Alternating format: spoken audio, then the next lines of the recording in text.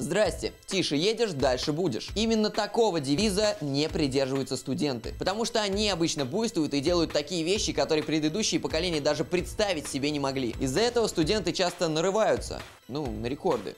И попадают ну, книгу Гиннесса. И для начала, вопреки сложившемуся мнению, ну да, я же студент, я же должен все делать вопреки сложившемуся мнению. Так вот, вопреки сложившемуся мнению, я начну с первого места. С самого безбашенного парня из всех, что я видел. Приготовьтесь, вы никогда не сможете побить этот рекорд, потому что у вас духа не хватит. Уверен, вас будет передергивать каждый раз, когда вы будете представлять, как он это делает. В общем, суровый парень из Тбилиси, Георгий Чхаидзе, за полтора часа умножил в уме 948 миллионов 645 тысяч 332 на 823 миллиона 452 тысячи 701. Не буду называть ответ, вы все равно не запомните, ведь вы не Георгий Чхаидзе. А студенты, которые не имеют такого большого мозга, как у него, но имеют много свободного времени и страсть к максимализму, штурмуют книгу Гиннесса гигантским карандашом, самым большим самолетиком и самым продолжительным сеансом чехарды. Все это идет мимо. Остановлюсь, пожалуй, на машине с девочками.